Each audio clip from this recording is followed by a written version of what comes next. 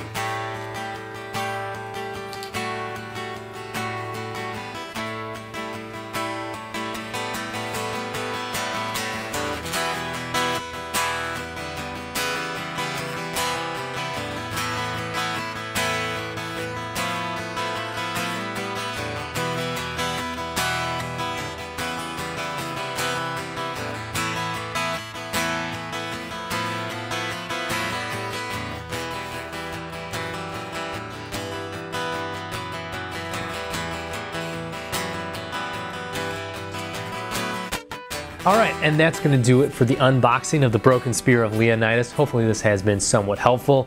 Like I said, we will do a more full-on, in-depth review at a later date. But until then, we'll see you on the next Libertas video.